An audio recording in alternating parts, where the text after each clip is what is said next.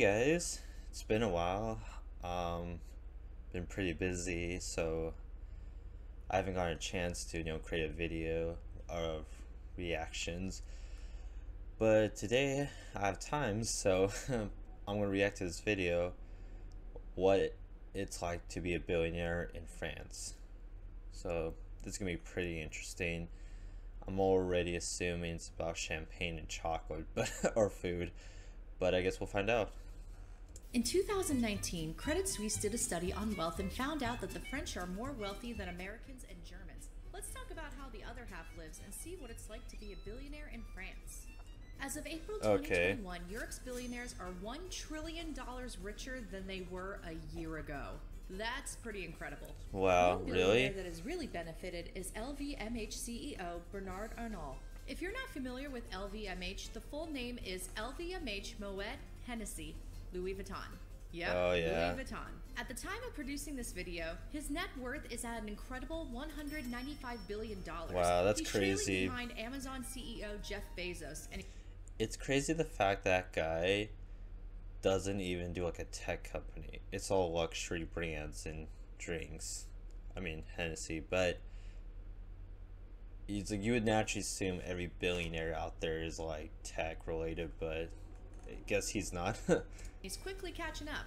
Watch out, Jeff. Much of Bernard's wealth comes from his 97.5% stake in Christian Dior. Bernard lives in a 21,000 square foot 17th century mansion in Paris, France. The price of that mansion is relatively unknown, but given how much space there is, it's expensive. He also has a $30 million mansion in Beverly Hills. He also owns two additional chateaux in various parts of France, as well as a third mansion. Bernard owns an island in the Bahamas that's worth $35 million and owns over 35 wineries around the world. Wow. Finally, he that's has a crazy.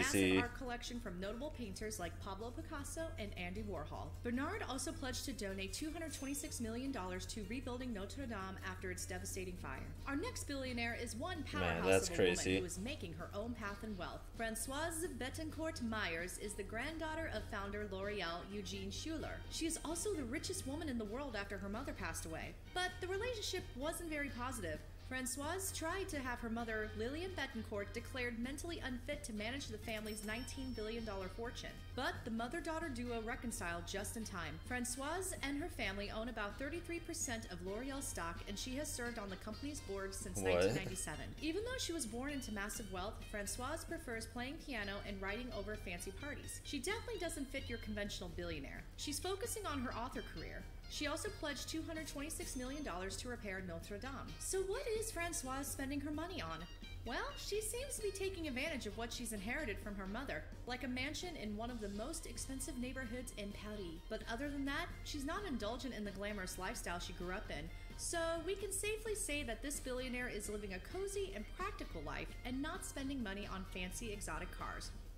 Time will tell. Yeah, right. Our next billionaire is definitely a self made man. In 1963, Francois Pinault started a wood and building materials company called Kering. Then, in 1999, he switched Kering's business to luxury goods after he bought a controlling stake in Gucci Group. He ran into much success. Huh. Francois and his family also own Christie's, which is a major auction house, and he owns the. You know, what I was thinking with what I think is fun about Gucci is like nowadays when we hear that word, we naturally assume luxury but back then, imagine trying to uh, pitch your company and say it's Gucci, whatever. It's just like, man, people probably were laughing back then, and now everybody's like, whoa, it's so amazing investment company Artemis. At the time of making this video, he has a net worth of $50.1 billion.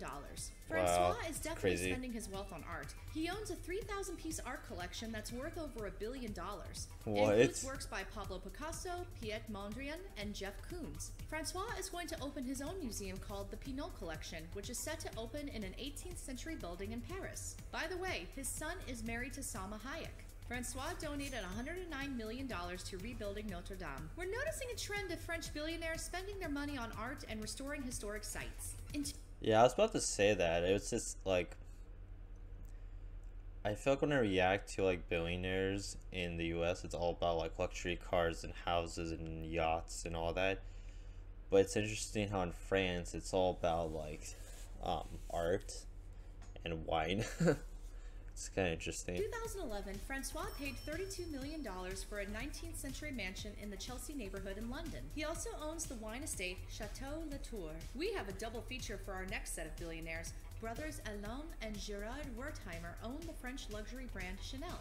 Their Huh. grandfather, Pierre Wertheimer, founded the company with Gabrielle Chanel, better known as Coco Chanel. Oh. Gerard oversees the That's interesting, Chanel. So was that that was her last name? Wait. Better known as Coco Chanel. Wait what? Second.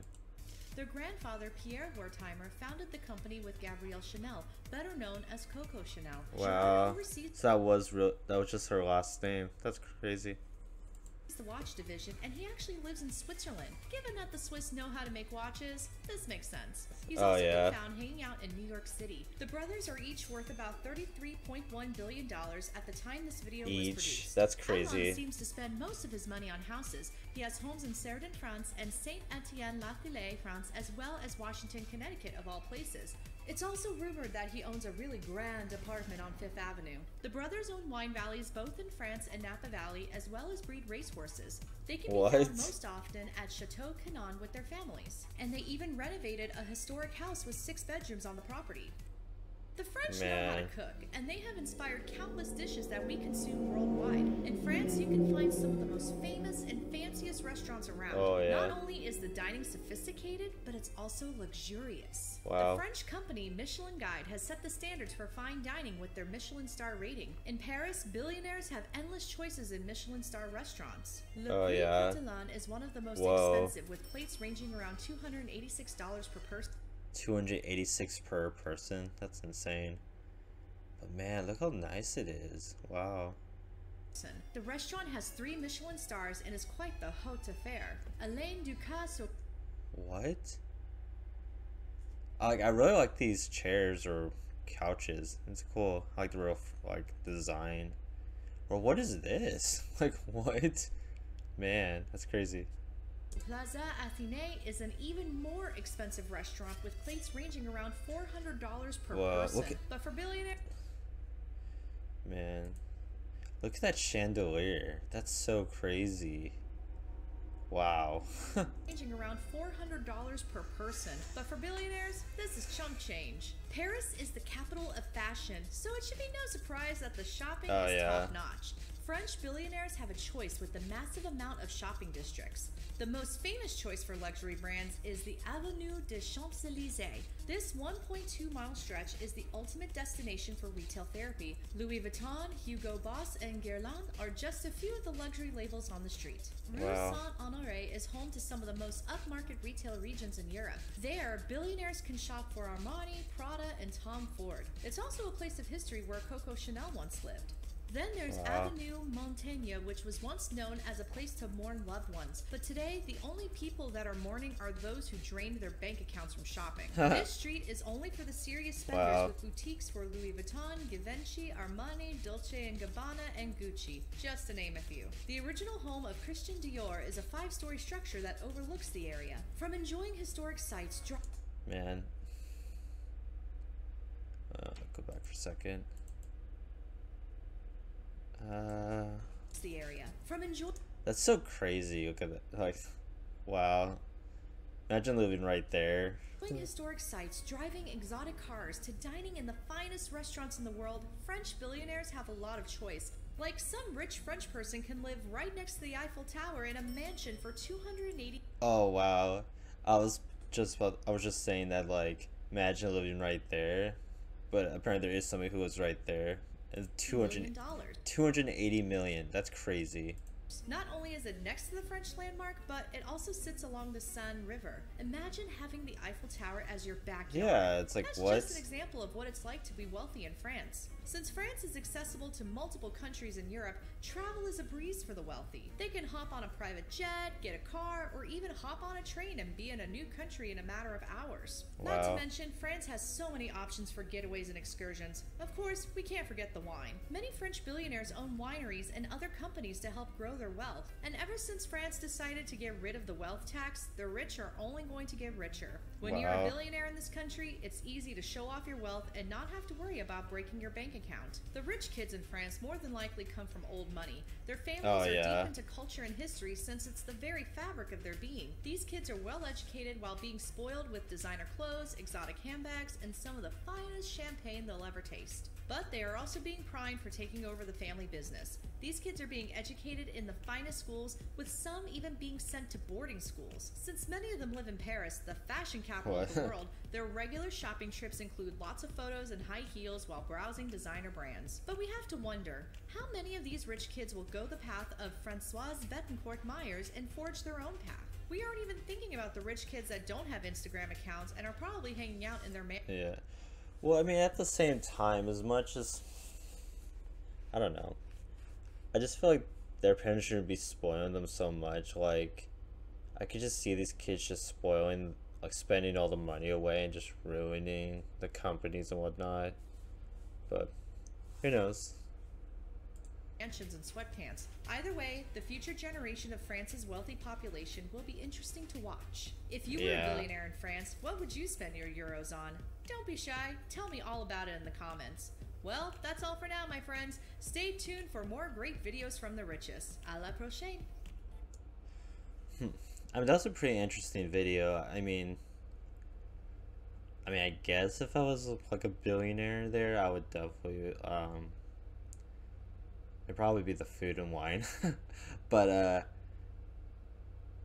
uh, I mean, I don't know the designer clothes thing. It's like whatever, but it's pretty interesting um, to see the difference uh, mentality. Um, the the fact they're more focused on art and rebuilding history.